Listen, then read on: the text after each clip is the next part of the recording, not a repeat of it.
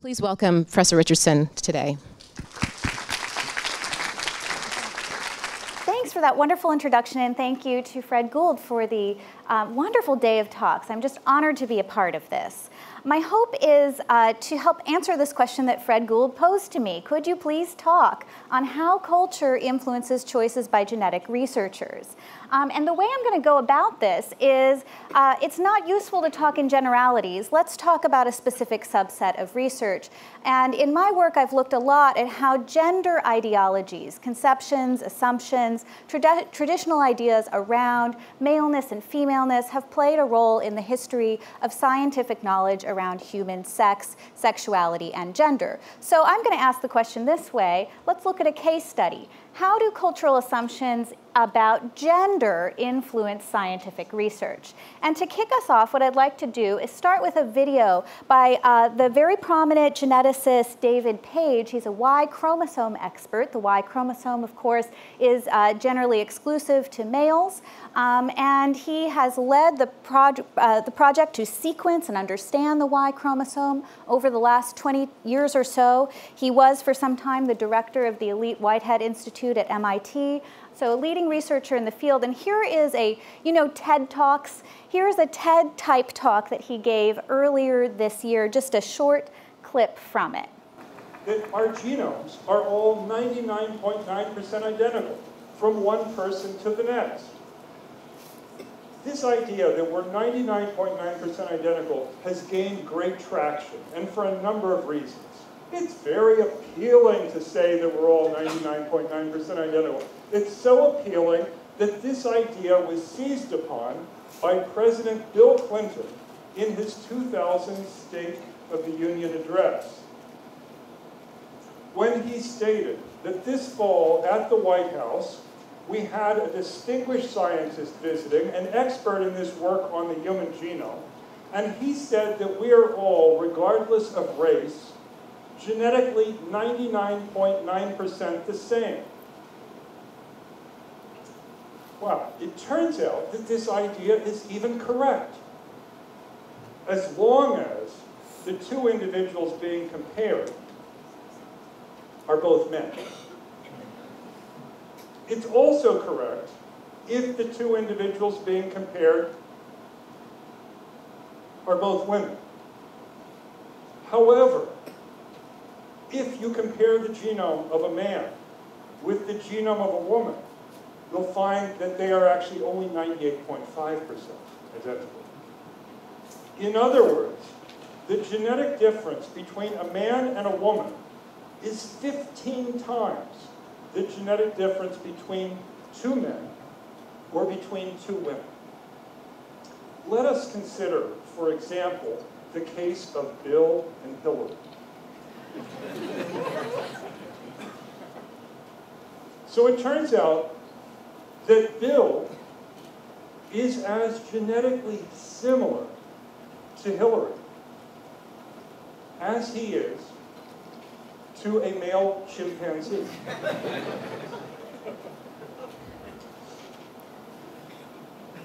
but human genome, we have a problem. In the human genome era in which we're living, this difference, this fundamental difference between males and females has been overlooked. Instead, we have been operating with a unisex vision of the human genome. And so, in fact, men and women are not equal in their genomes, as I've just explained. Okay, we'll leave it at there. Let me begin by locating myself in an area of inquiry, now about three decades old, um, of feminist investigations of the relationship between science, scientific knowledge, scientific institutions, um, and the sex gender system.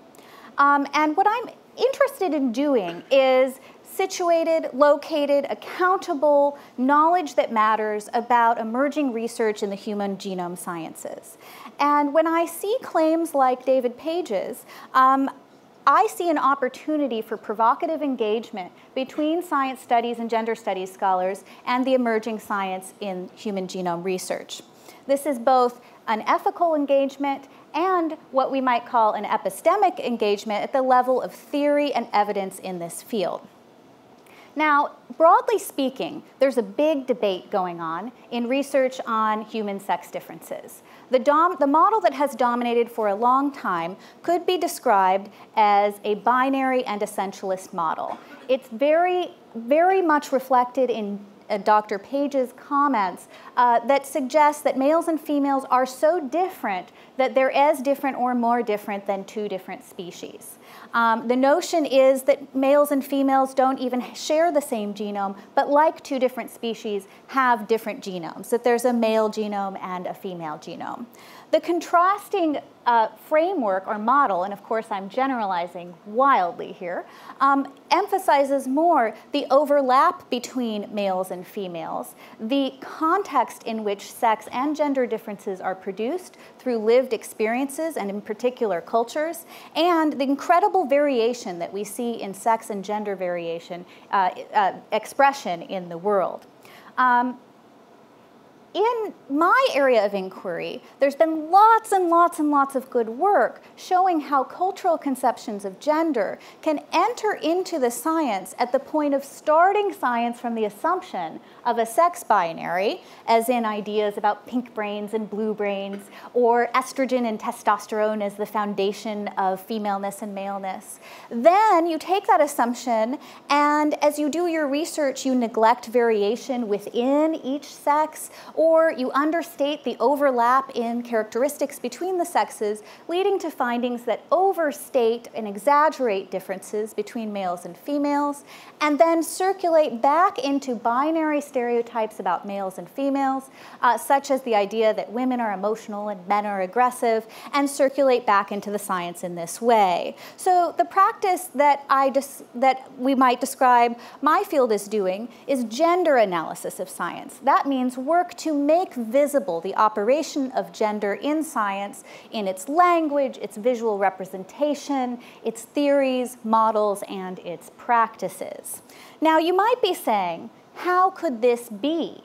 How can gender play such a role in scientific knowledge? And if it is, isn't that a rare aberration that represents a terrible abuse of science?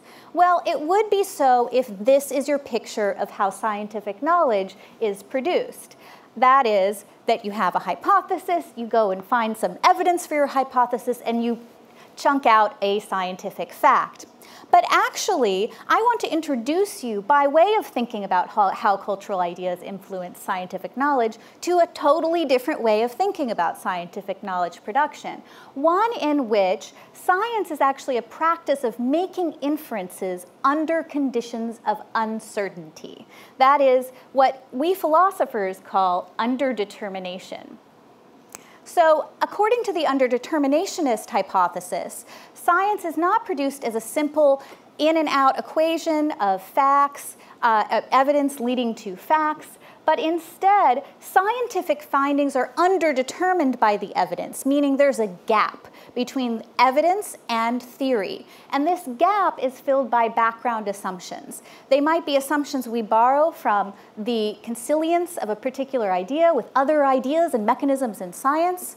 Some of these background assumptions are explicit. We can see them, we list them in our hypothesis making. And others can be implicit. They can be invisible even to the researcher and to the broader research community, especially when they reflect dominant ideas in society that are often uncriticized. So this is a little hard to read probably for those of you in the back, but just uh, by way of a little thumbnail sketch, the underdeterminationist view is richer in the variety of things that go into scientific reasoning. So you start actually with a set of assumptions you, and hypotheses. You do gather data, and then you have to do this very human work of interpreting that data. And what do you get at the end? Not something rightly described as a scientific fact, but a new hypothesis for broader testing and consideration this picture of science I would call science as social knowledge. That is, science is produced through the intersubjective processes through which communities of knowers evaluate knowledge. So we, we can expand this rich picture of how science is scientific knowledge is produced to include lots of steps that are each entry points for, for cultural assumptions into scientific reasoning. From the moment of uh, formulation of a research question to disciplinary training, funding, local hypotheses, gathering of data and the kinds of samples that we use, statistical analysis, the assumptions that go into that, the representation of the data, where are your error bars, the naming of that data, what terms are we using, and how do they condition our reasoning.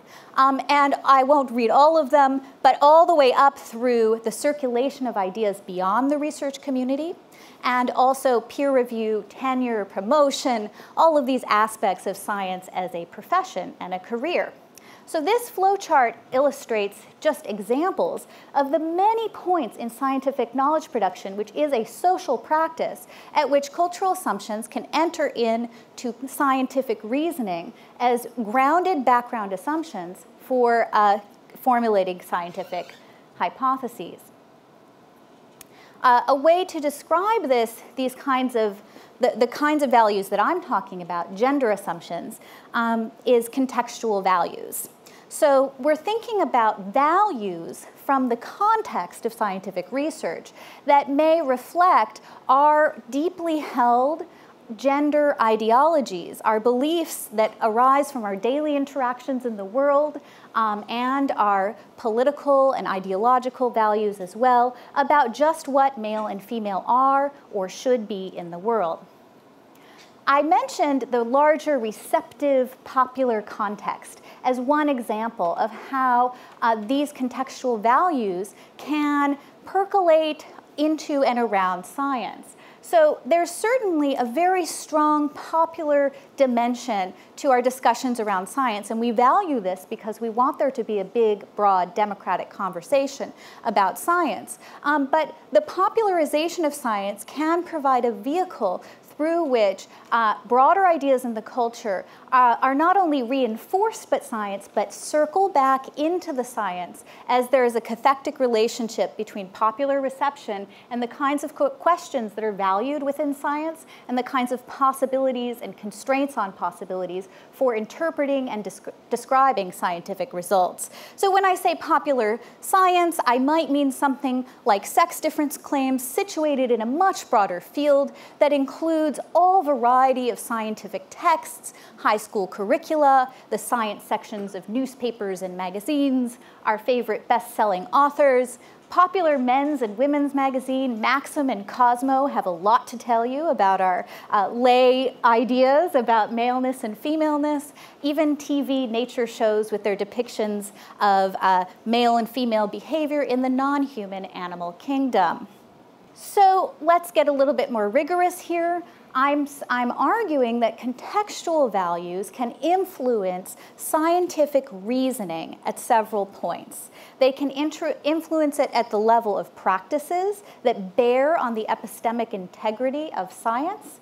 They can determine which questions are asked and ignored about a given phenomenon. They can affect the description of data. And also, they, they can add that is, value-laden terms in the description of experimental or observational data. And values may even uh, influence the selection of data or the kinds of phenomena to be investigated. Specific and global assumptions, contextual values can be expressed in or motivate the background assumptions, facilitating inferences in a very specific area of inquiry, like I'm going to show you today, or in a broad field of in inquiry. They can determine, that is, the character of research in an entire field. Okay, so with a very limited time to speak with you today, I'm just going to offer one case study from my recent book, Sex Itself, The Search for Male and Female in the Human Genome. Now, in that work, I track the emergence in the 20th century of a new and distinctive way of thinking about sex um, it's remarkable to imagine that it was just a little over 100 years ago that the X and Y chromosomes were even discovered. And they represented from their inception the, an idea of an unalterable binary, a simple, visually compelling binary, um, right at the base of theories of sex and gender. And I look at the interaction between cultural gender norms and theories in genetic uh, work on sex from the beginning of the 20th century all the way to the present post-genomic age. Now, I analyzed the history of human sex chromosomes as gendered objects of scientific knowledge. Uh, for example, I look at how the X came to be thought of as the female chromosome, even though both males and females have X chromosome. And in fact, the X chromosome arguably has greater consequences for men's health than it does for women's health um, due to the phenomenon of sex linkage. Okay. I show how the X and Y emerged from a raucous century of changes in our conceptions of sex differences and gender roles as really the basis of a hierarchy of conceptual layers of sex and gender that kind of moves from hard to soft. So chromosomal sex becomes the hard end of the spectrum, leading into hormonal, gonadal, morphological sex, and finally gender presentation and sexual orientation. So by way of a case study from this book, I want to look more closely at this claim that has circulated well beyond David Page um, within the field of sex chromosome research. This curious claim that human males and females differ by this uh, Hunt Willard Duke says 2%, quote, greater than the hereditary gap between humankind and its closest relative, the chimpanzee. So this has come up again and again. Um, there is, he argues, quote, not one human genome, but actually two, a male and a female genome. Now, this quote was occasioned by the publication of a 2005 article by Willard's lab, in which Willard and co-author Carrel um, promoted a finding about the X chromosome as showing that males and females, like different species, have different genomes, and that contrary to the politically correct vision of a shared universal human human genome, males and females are more genetically different than had ever been conceived, and kind of suggesting that genetics holds the key to these deep differences between males and females. Uh, other quotations at the time, the 2005 was when the full sequence of the human X chromosome was first released. Mark Ross at the Wellcome Trust Sanger Institute in Cambridge actually ran that sequencing effort, and on that occasion, he stated that now that we've got the sequence of both sex chromosomes, the X and the Y, we can do a very detailed comparison to really ask the differences between males and females. So sex chromosome geneticists have begun presenting analysis of the X and Y as, as offering kind of at last the real story, the final word on human sex differences. Now, there are many reasons to be concerned about this emerging conception of genomic sex differences. Um, and I'm going to have to, I, I do think that there's a highly provocative nature of this human chimp claim, which has a deep racial and gendered history in the history of science. But for now, I want to briefly look at this as a case study of how gendered assumptions can enter into the local and global reasoning of a set of scientific claims. Because what this claim does is it embraces a binary picture of sex differences as a starting assumption, and it conditions and pulls all of its reasoning about evidence toward that model without adequately considering perfectly legitimate and equally explanatory, if not more explanatory, alternative models. Okay, so in this brief case study, um, and I have, it's well treated in my book and also a paper um, in, that's titled something like Are Males and Females as Different as Humans and Chimpanzees? Um, the, I, I, want to present a detailed, somewhat detailed empirical critique of these claims. Um, and my point is that there are assumptions made at each stage that systematically overstate the ledger of the number of differences in the genome between males and females.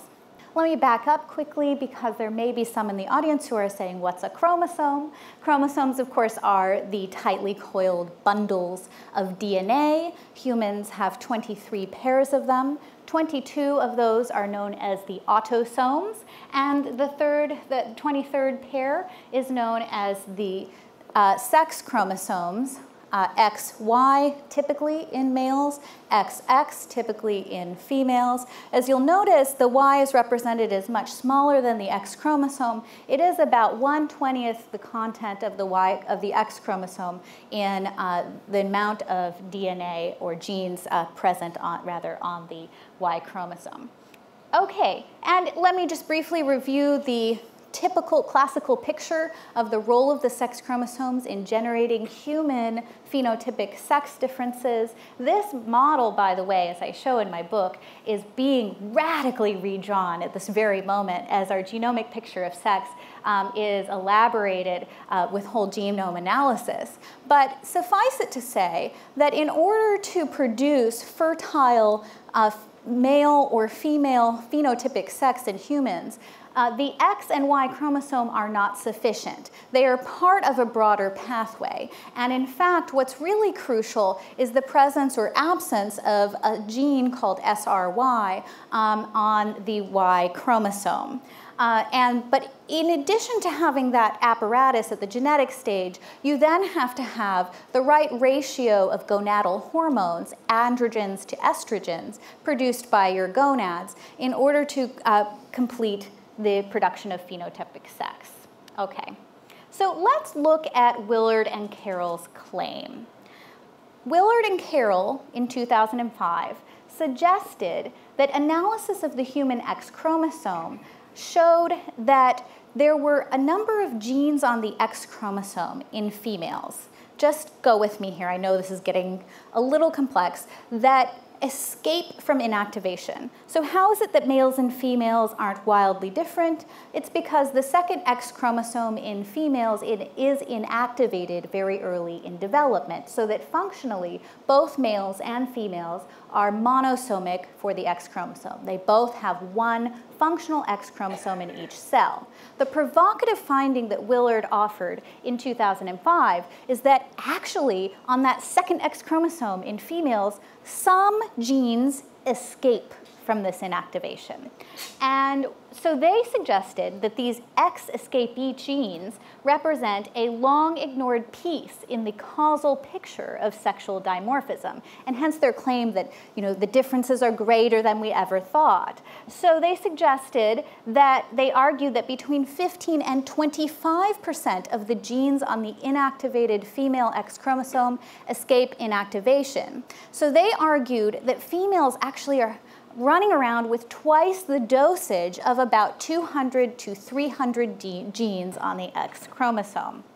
And these genes, they argued explicitly in their paper, may in large part specify sex differences. So the much hyped estimate of 1 to 2% difference between males and females arose directly from this picture of genetic differences that they drove their interpretation for. So I would say here's their argument. They say, okay, first of all, men have the Y chromosome, and let's say there are about 50 genes on the Y chromosome that men just have and, and women don't have.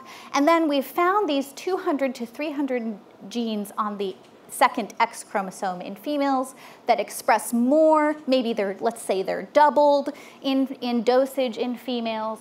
And so we get 250 to 350 genes, they argued, that differ between human males and females. And if you do the math, assuming about 20 to 30,000 human genes, then you get this number. Males and females differ by 1 to 2% of the coding genome. Now, there are, there are a range of approaches to this kind of quantitative claim, right? Uh, we've all seen the t-shirts, I am 75% banana, right? These quantitative claims can be extremely spurious, right, in the first place. And there are all sorts of levels of relevant similarity and comparison. I'm gonna just not put that aside for now. If you want the details, you can read the paper. But I just want to show you in a simple way how assumptions systematically skewed their results to favor a finding of dramatic sex differences. Okay, what about 50 male-specific genes? Well, what do we know about the Y chromosome? Actually, not all of the genes on the Y chromosome are unique to males. Actually, only a few are. The X and Y chromosome are homologs. They evolved from each other. And a lot of the extant content on that small little Y chromosome is the same as gene content on the X chromosome. So it's not that all the genes on the Y chromosome are unique to males. Instead, there's a region of the Y chromosome that is male specific. So here are the shared genes between the X and the Y. They diverged from one another and have many genes in common. So actually what you have to do is uh, subtract out those that are shared with the X, about 29. There are 25 outside of this region that uh, are not in the shared reason, region with the X, but because of their evolutionary history, do remain in copies on the X chromosome. So uh, actually, you only have about 15, and by the way, there are debates about what a gene is, and when you reconsider what a gene is, you might come up with different numbers, but the basic analysis still applies. There's only a small number of male-specific genes on the Y chromosome, and furthermore, there's been lots of good functional analysis of these genes on the Y. Many of these genes are so-called pseudogenes, mean, meaning that they are uh, repetitive and sometimes non-coding. Many of the genes are duplicates, as I said, and these genes have been functionally found to express almost exclusively in the testes. That is, they are not involved in global sex differences, but in what we would expect, the most sex differentiated organ of the human body, which are the gonads. All right, so that's the Y chromosome one. But what about this 200 to 300 genes? Here's a direct quote it's not just a little variation. This is 200 to 300 genes that are expressed up to twice as much as in a male. This is a huge number. So here's the driving interpretation of this result. Well, what about this finding? Well, we have the benefit of hindsight, which is a sneaky little trick here, right? Um, but uh, other studies unanimously have not find anything, found anything close to the 200 to 300. So 36 genes in one study, only nine genes. That is, it's not 200 to 300 genes on the X chromosome that are escaping inactivation, but some 9 or 36 genes perhaps, um, and that has held up over time. So why is there this huge discrepancy? Why did they, in their first study, come up with 200 to 300 genes? Well, their assumptions skewed their results. First of all, um, we saw that they failed to subtract out the many escapee genes on the X that have copies on the Y. Second of all, researchers assumed um, that escapee genes represent an extra gene in females. So genes might escape from inactivation on the second X chromosome, but it may not be that they express very much at all, even though they're escaping. Um, but in their reasoning, and in, we can see in their language, they almost started counting these as extra genes in the, in the human female, double the gene dosage. By the way, the findings on those genes, 9, 36, 200, or 300, have found very, very low levels of expression of those escapee genes. The functional importance of that, when we need to talk about logarithmic differences in gene expression to talk functionality um, is really in question. Um, also, the researchers looked at sex difference alone, failing to consider obviously obvious interacting factors in vivo. So the studies that found 9 and 36 were, were in vivo studies. Um, so they looked at hormones, age, nutrition, tissue specificity. So these also repress, they work to repress and equalize gene expression between males and females. And finally, uh, researchers assumed that the X escapees will play a role in global differences between males and females, failing to note that all the good functional data that we have shows they're pretty much exclusive to the gonads. There are several other points I could include in there, um, but, the, but the main gist of this is I think we have a really good case here of here you've got some cool data and bang, big, big claim about sex differences. Good example of how uh, claims about sex differences play a role in the actual cognitive reasoning, the inference making, the claims making in genomic research. Look, there are not nearly as many genes different between males and females as originally estimated. And these escapee genes uh, are likely to be of limited value for explaining the global sex differences that they claim interest them. So I, I, think this is probably a good case of evidence of skewing. I could have given you lots of historical cases, but I wanted to give you one from our current moment, um, and one from credible researchers who cannot be accused of being kind of not you know, like bad actors in the field, but kind of good people doing good work, but nonetheless, they've fallen into this trap. Um, I think that this is actually really dangerous, and we need to have a big conversation about how we're conceptualizing sex differences as we enter the genomic and post-genomic age thinking of the sexes as having different genomes is making a very, very strong claim. It's suggesting that there are systematic and law-like differences between male and female human genomes, and it exaggerates the amount of differences between the, se the sexes, um, and it, it plays into a traditional gender ideological view of sex differences. So if I have a little bit of time left, um, I'll talk about a, another recent example of this uh, that I wrote about in Slate. Um, here's an example from just this spring. New York Times article. Uh, researchers see new importance for the Y chromosome. And I think this offers perhaps a, an even more stunning allegory for our age about the way scientific hype and a fascination with the sex binary continues to influence scientific research on sex today. So what happened was two Nature articles came out on the Y chromosome, and they garnered extensive media attention. Does anyone remember reading about this? A few people, maybe? Okay, well, I'll tell you all about it. Um, the study investigated the evolutionary history of 12 genes on the Y chromosome. So again, males have one X chromosome, uh, one X chromosome while females have two. The studies found that these 12 genes are present on the X chromosome. So they also need to be on the Y chromosome. So they're trying to understand why are these 12 genes here? Why do they remain on the Y chromosome?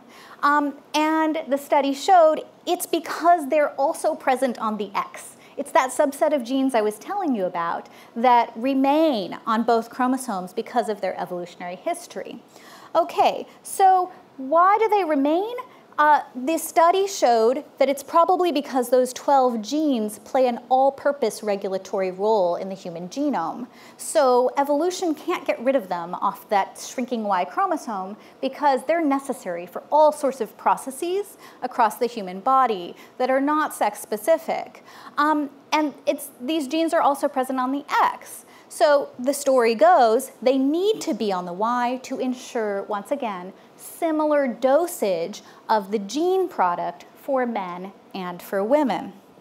Okay, so the studies uh, demonstrated, for example, that fetal viability is impaired without the proper functioning of both sets of these genes. If you're a male, you need them on both your X and your Y, and if you're a female, you have them on your X and escaping from inactivation on your second X. But here's what the interpretation, how the interpretation of the study was spun. The lead author of the study was quoted as saying that these, quote, special genes may play a large role in differences between males and females. Um, and asserted that differences in disease rates may result from differences in men's and women's bodies, differences found as deep down as the cellular level. So how did a study that shows gene dosage equalization between males and females for genes on the sex chromosomes get spun as a new finding of dramatic sex differences. So the study presented the unsexy claim that certain genes on the Y chromosome work to actually ensure sexual similarity for those genes, um, and then filtered through our gendered scripts and scientific hype they became a revolutionary new finding said to have groundbreaking implications for our understanding of the genetic basis of sex differences. So I, I just, I had to get to work and I wrote a little, uh, little piece on this phenomenon. And I just think if you're teaching or you're thinking about these issues, it's a great recent case study of how this happens. Literally, the study was a finding of similarity, and somehow it got contorted into a finding of difference. Okay, let's return to the lesson here. Contextual values. Values in the context in which we all live and work in and around science. It isn't that culture that science impacts culture or culture impacts science, but they're all together. Science is a part of culture, and um, they contribute substantive background assumptions to scientific reasoning. We're not just talking about science having a possible harm for women or for men. We're talking about gender in the cognitive work of scientific research. Okay, so when we're posed with questions like do males and females have different genomes? Or we can compare male can we compare males and females as we compare humans and chimpanzees? We're posed with claims that are not of the nature that they can be answered by a set of facts. We actually have to bring in assumptions in order to say yes or no to these kinds of questions you could be like me and be someone who is who believes that uh, a more productive model for studying sex and gender in the genome is one that I call a dynamic dyadic model. Um, it's more reflective of the evolutionary history of the genome that passes through male bodies and female bodies into female bodies and male bodies, um, sex as co-evolved, uh, or you can have this really, really dy uh, sorry, binary notion of sex in which there's a male genome and a female genome, and you might as well be looking at different species. So substantive assumptions, my assumptions, their assumptions. All of us are coming to the table with assumptions in order to answer some sort of study like this. So ultimately, I want to convince you, first of all, yeah, cultural conceptions can play a role in the actual reasoning of science. They can play a positive role, they can play a destructive role. The main thing is that we're open and clear and making visible how those assumptions are working in our work. Um, and ultimately, I argue also that this new era of sex research calls for a mode of continuous critical engagement.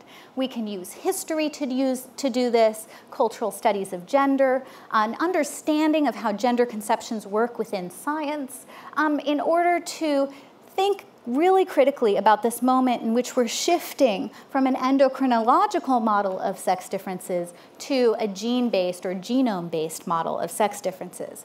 Unfortunately, it, as I argue in my book and, and document in some detail, it does seem that at this very moment, unfortunately, there's a lot of fallback on this essentialist binary model. But here's an enormous moment for intervention. The genome actually, it just it, there's, we should let it take some time and let, uh, let it challenge our views of the, the binary between the sexes.